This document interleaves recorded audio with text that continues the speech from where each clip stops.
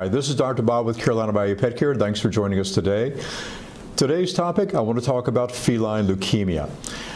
Now, interesting enough, we've seen a lot of kittens. I'm talking about nine months into the pandemic. We've seen a lot of people getting kittens this year, a lot of puppies, and that's great news.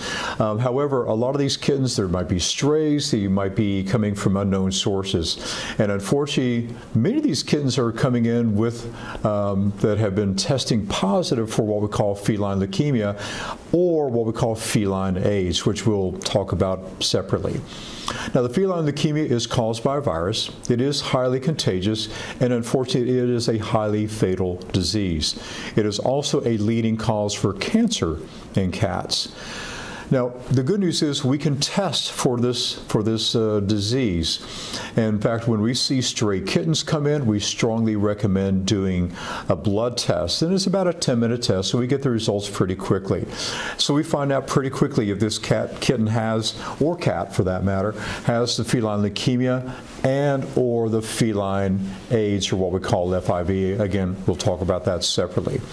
Now, the leukemia affects different parts of the body. Primarily, it just causes a cat just to be just sick. Unfortunately, these cats are just, they feel bad.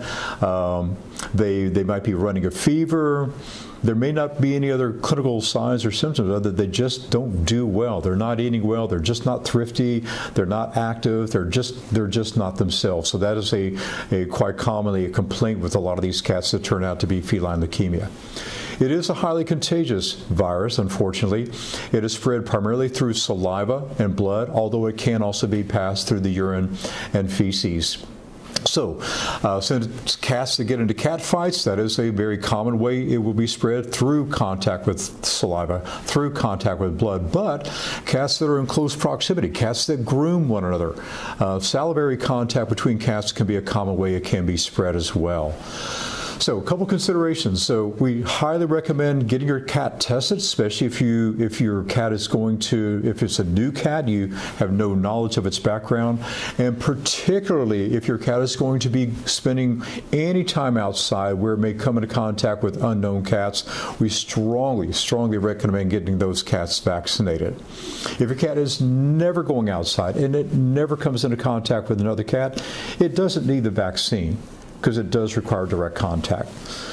So we'll be happy to answer any additional questions about leukemia for you. You're welcome to come to our one of our events.